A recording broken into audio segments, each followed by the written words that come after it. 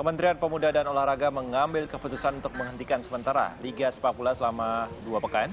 Keputusan ini diungkapkan Menteri Pemuda dan Olahraga Imam Nahrawi pada Selasa siang. Keputusan ini diambil setelah insiden tewasnya supporter Persija Haringa Sirila di tangan oknum supporter Persib Bandung pada hari Minggu lalu.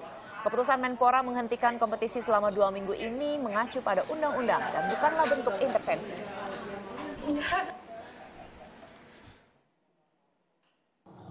Pemerintah meminta Liga Sepak Bola Indonesia ini dihentikan sementara selama dua minggu. Hentikan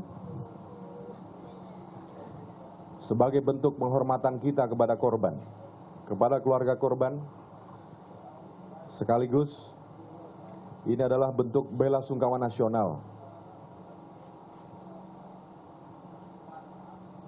dan ini momentum introspeksi bagi kita semua bahwa satu nyawa sangat mahal bila dibanding hanya dengan sepak bola.